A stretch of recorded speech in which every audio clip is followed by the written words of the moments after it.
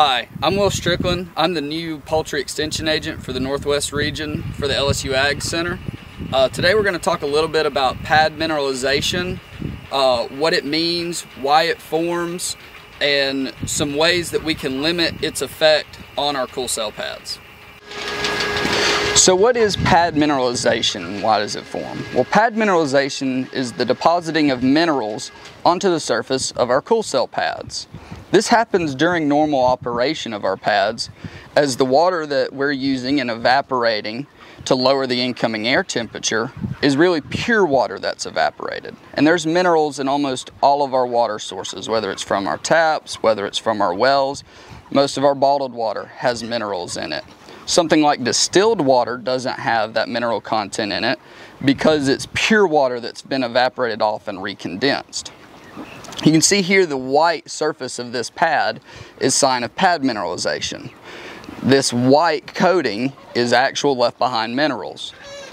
Now, these are actually some fairly old pads and there's good water quality here, but something like this level of mineralization can be seen if you have poor water quality after just a couple of flocks.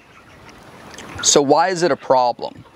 Well, it's a problem because it gets left behind when the water is evaporated off, right? And so as it gets left behind and it builds and builds, it can restrict the flutes and restrict the airflow into our cool cell pads.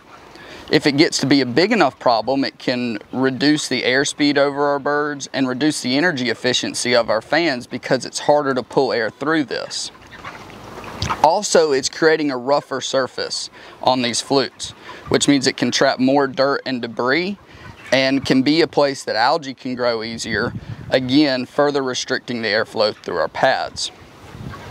So what can we do about it? Well, again, that mineral is in almost all the water that we're going to use for our cool cell pads. And even if you have good water quality, we're only evaporating about a tenth of the water that we circulate over our pads each pass.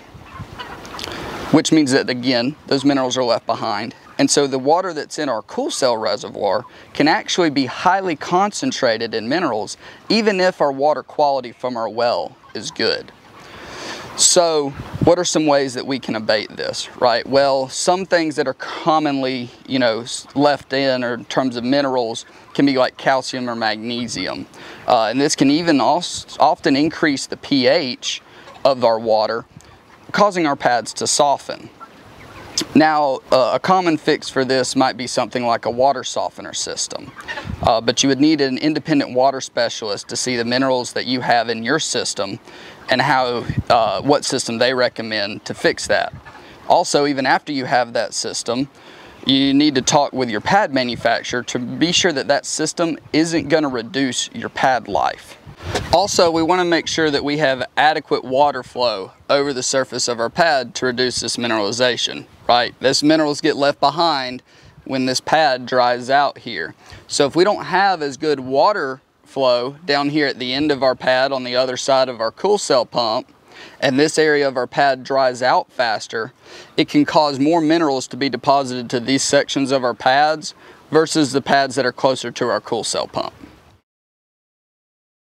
A cheaper and more simpler way to abate this pad mineralization is to regularly flush our cool cell reservoirs. This is going to get out all of that higher mineral concentrated water and refill with the lower mineral content water from our supply. Now, this can be done weekly if you have poor water quality or less frequently if you have better water quality. And one of the easiest ways to do this is to install electronic solenoid on our drain valves so that it automatically empties the water in here. However, the best way to do that is to make sure that either that solenoid is sized to empty this reservoir faster than our refill line is going to refill it to make sure we fully exchange all of that water or to have another electronic solenoid on our refill line to shut it off as we're draining the water out of our system to make sure we're fully replenishing fresh water into this system.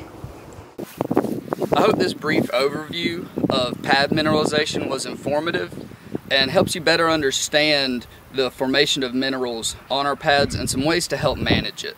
Please reach out if you have any further questions.